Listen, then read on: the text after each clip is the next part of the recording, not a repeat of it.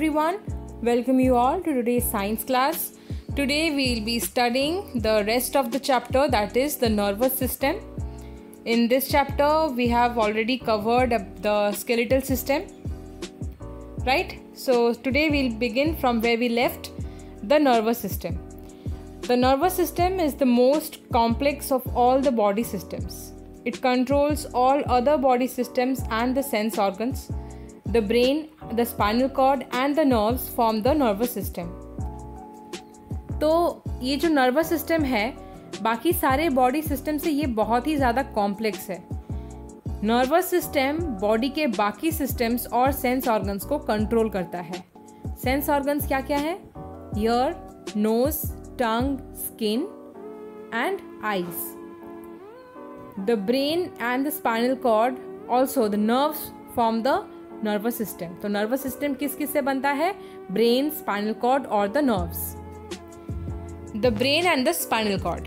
अब यहाँ आप देखो structure brain is the most important organ as it is the control centre of our body it sends and receives information to and from all the body parts through nerves तो brain जो है, ये control centre of our body है।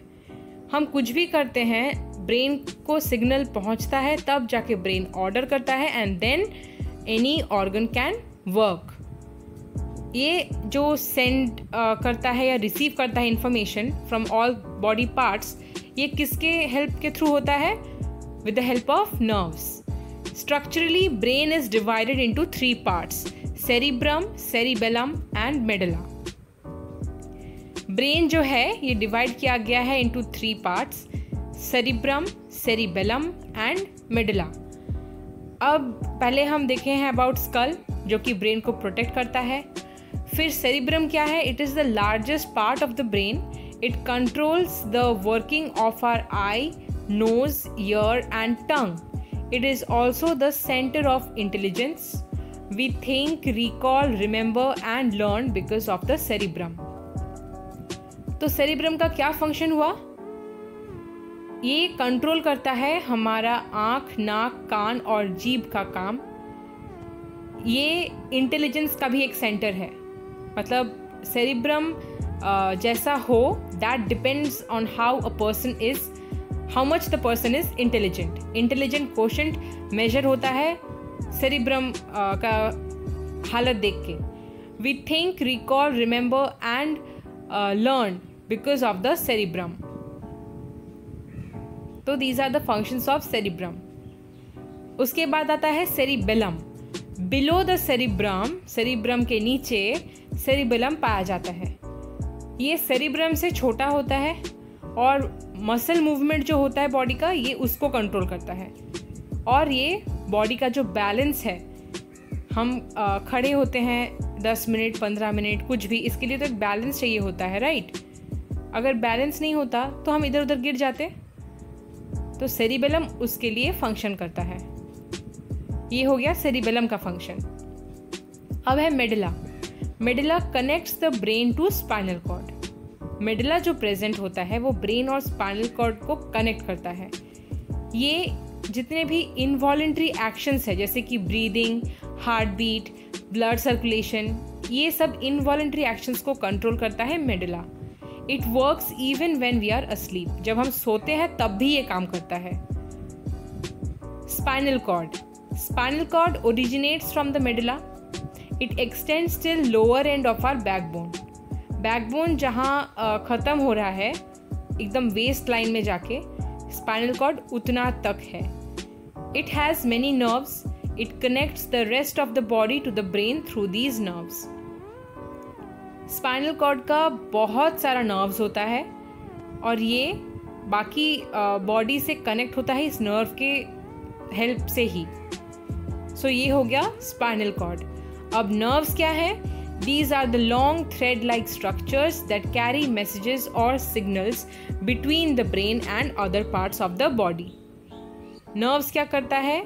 Stimuli receive करता है signal भेजता है brain को ब्रेन उसको रिस्पॉन्ड करता है और मोटर रिस्पॉन्स वो सेंड करता है to the other parts of the body ठीक है? तो ब्रेन और स्पाइनल कॉर्ड और नर्व्स ये तीन है नर्वस सिस्टम का पार्ट्स इसमें से हमने अभी देखा ब्रेन और स्पाइनल कॉर्ड के बारे में। पहले हो गया स्कल जो कि ब्रेन को प्रोटेक्ट करता है। फिर आता है सेरिब्रम जो कि largest part of the brain है। इसका फ़ंक्शन क्या है? It controls the working of the eye nose ear and tongue ये इंटेलिजेंस सेंटर भी कहा जाता है इसको।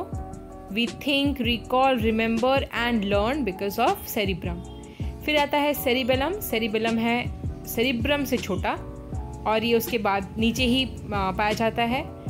ये कंट्रोल करता है जब muscle movements voluntary actions it helps to keep the body balance फिर आता है मेडिला जो कि ब्रेन और स्पाइनल कॉर्ड को कनेक्ट करता है। ये मेडिला जो है जब हम आ, सोए रहते हैं ये तब भी काम करता है। और जितने भी इनवॉलेंट्री एक्शन है जैसे कि breathing heart beat blood circulation ये उसको कंट्रोल करता है। स्पाइनल कॉर्ड कहाँ से ओरिजिनेट हो रहा है? मिडिला से एक्सटेंड होता है to the till the lower end of our backbone इसका बहुत सारे नर्व्स है जो कि ब्रेन के साथ भी कनेक्ट करने में हेल्प करता है। Also to the rest of the body nerves जो है, ये लॉन्ग थ्रेड लाइक स्ट्रक्चर्स होते हैं which can receive carry the signals और the messages between the brain and other parts of the body understood now nerves there are three kind of nerves the sensory motor and the mixed nerves sensory nerves जो होते हैं that वो क्या करते हैं? The signals coming to brain sensory nerves signals को brain तक carry करके ले जाते हैं. मोटर नर्व्स क्या करते हैं? Signals going out from brain जब ब्रेन रिसीव कर लेता है, तब उसको कोई फीडबैक तो देना होगा ना? तो वो क्या करेगा? वो सिग्नल्स को मोटर नर्व्स क्या करते हैं? सिग्नल्स को ब्रेन से लेके बॉडी में ले जाते हैं. मिक्स्ड नर्व्स क्या करते हैं? Both ways of signal transmission वो ले स्टिमुली से सिग्नल ले भी जाते हैं, फिर मोटर नर्व से वापस ले भी आते हैं. तो मिक्स नर्व्स क्या होते हैं? जो सेंसरी और मोटर नर्व्स दोनों का काम करते हैं. ठीक है? Sense organs the sense organs connect us to our surroundings we have five sense organs eyes nose ears tongue and skin these sense organ help us to see hear smell taste and feel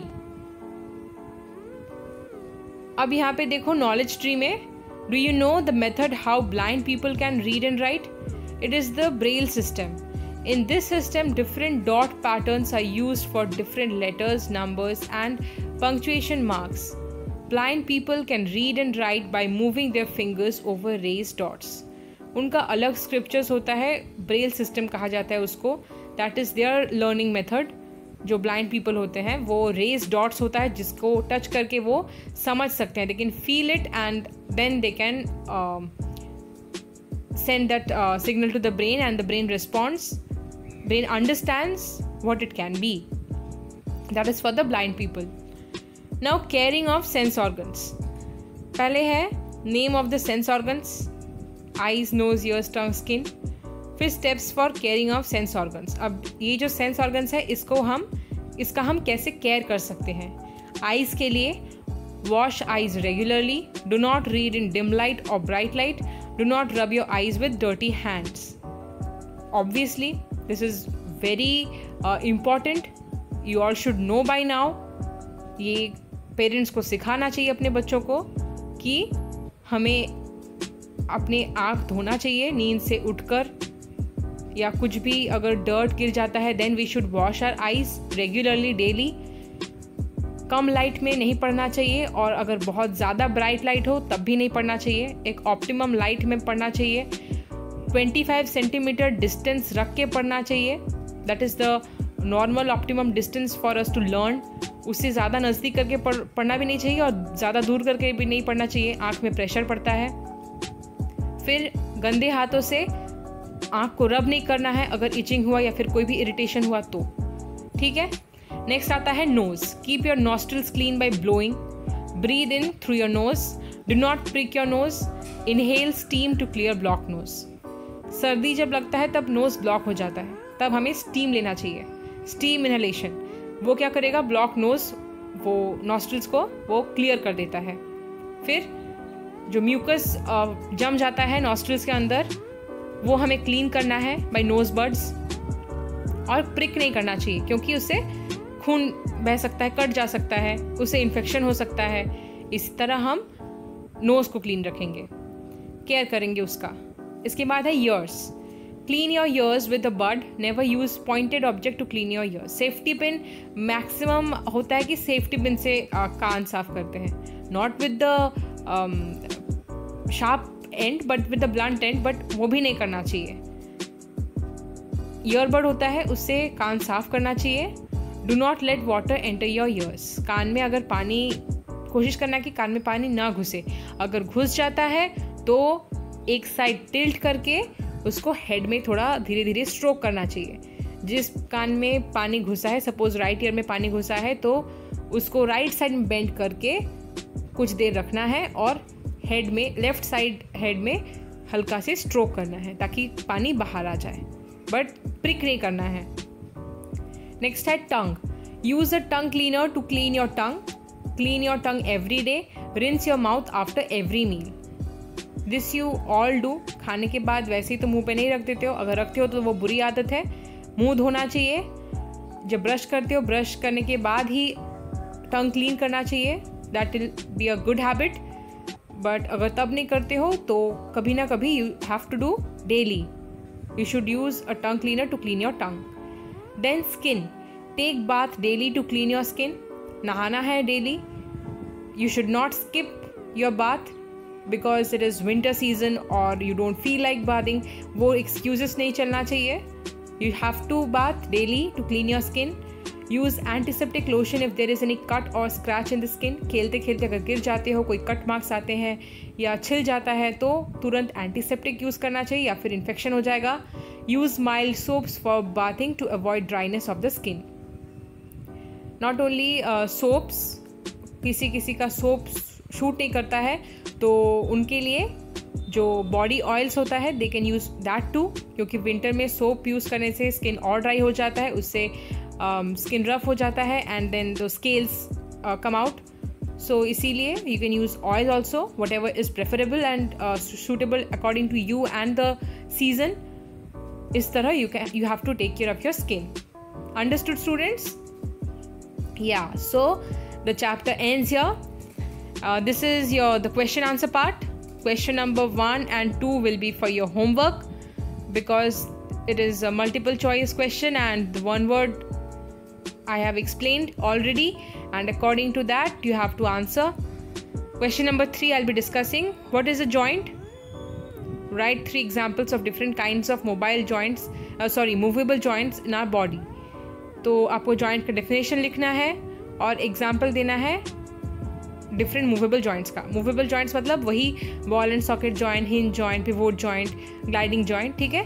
joints का नाम लिखोगे और उसके नीचे नीचे examples दोगे, दो या तीन। Then what are the main function of our skeleton skeleton का मेन फ़ंक्शन क्या है? ये एक शेप दे रहा है स्ट्रक्चर दे रहा है फिर support it acts a support system it protects the inner organs and it helps for movement and locomotion फिर how do muscles work what are the difference between voluntary and involuntary muscle this I already explain the name three parts of the brain brain का तीन part क्या क्या है write the functions of each part brain का तीन part है cerebrum cerebellum and मिडला ठीक है? फिर उसका फ़ंक्शंस uh, लिखते हैं. What is reflex action explain with an example now reflex action is something जहाँ पे you respond to a stimuli the signal is transfer to your brain your brain give some response or feedback and it is carried out by the motor neurons. तो sensory neurons जो है या nerves जो हैं वो carry करता है stimuli um, को वो सेंस करता है फिर वो सिग्नल जाता है ब्रेन तक ब्रेन एक रिस्पॉन्ड करता है फिर मोटर न्यूरॉन्स क्या करते हैं? एक्शन लेता है। जैसे कि आ, कहीं एक आ, कुछ गर्म हो रहा है ठीक है? गर्म पानी हो रहा है और आप क्या करते हो? गलती से आपका हाथ हाथ टच हो जाता है वहाँ पे। तुरंत आपको आप हाथ उठा लोगे दैट इज़ रिफ्लेक्स एक्शन तुरंत जो आप एक्टिविटी कर रहे हो लेकिन ये होने में एक प्रोसेस हो रहा है। वो गर्म जो चीज़ है उसको हम बोलेंगे स्टिमुली वो गर्म चीज़ है स्टिमुली उसके वजह से आपके हाथों से जो सेंसरी नर्व्स हैं, वो सेंस कर लिया वो गर्म ऑब्जेक्ट को। फिर वो क्या करता है? सिग्नल भेजा ब्रेन को। ब्रेन बोला हाँ ये तो गर्म है। अब क्या करेगा? ब्रेन बोल दिया वो रिस्पॉन्स अब मोटर न्यूरॉन्स क्या करेगा? तुम्हारे हाथ को बोलेगा कि, हाथ हटाओ। यहाँ पे ज़्यादा देर तक रखोगे तो बर्न्स हो जाएँगे। स्कैल्डिंग हो जाएगा। तो आप तुरंत हाथ हटा लेते हो। ये बोलने में तो इतना वक्त लग गया, लेकिन एक्शन एकदम बहुत जल्दी होता है। दिस इज़ रिफ्लेक्स एक्शन ठीक है? मैंने एग्ज़ाम्पल भी दे दिया। What are different types of nerves found in our body right their functions कितने टाइप्स के नर्व्स पाए जाते हैं हमारे बॉडी में? वो लिखना है और उसके functions sensory nerves motor nerves and mix nerves understood think and answer will be for your homework you have to think and answer हम तो थिंक करेंगे नहीं. हमने सिर्फ़ डिस्कस कर दिया.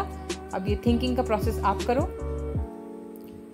This will also be for your homework create and learn the picture is showing the joints in human body write down the correct type of joints if these are wrong body place दिया है कि कौन कौन से place में कौन कौन सा जॉइंट होगा। अगर सही लेबल किया है देन अच्छी बात है। अगर सही लेबल नहीं किया है तो आपको जो सही होगा, वो लिखना है उसके पास। ठीक है? फिर क्वेश्चन नंबर टू में कुछ हिंट्स दिए हैं। आपको ऑर्गन या ऑर्गन सिस्टम को आइडेंटिफाई करके लिखना है। This is for your fun. You'll be doing as your homework. I hope you understood. Thank you. Take care.